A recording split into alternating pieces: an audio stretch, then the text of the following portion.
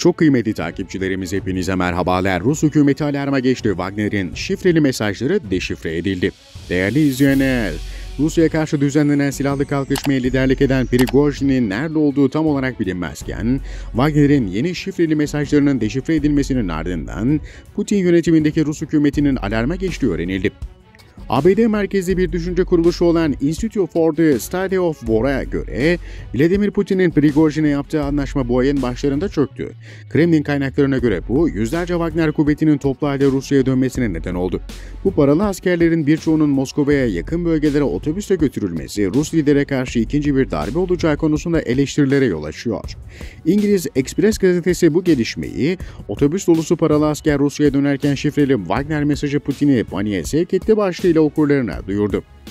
ISW şifreli mesajda paralı askerlere iletişim halinde olduğun her an yeni emirler gelebilir denildiğini aktardı.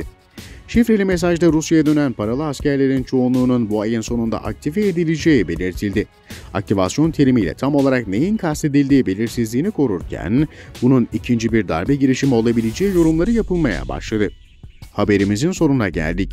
Sizlerden kanalımıza abone olmanızı, videolarımızı beğenmenizi ve nokta dahi olsa yorum bırakmanızı rica ediyoruz. Bir sonraki haberde buluşmak üzere, hoşçakalın.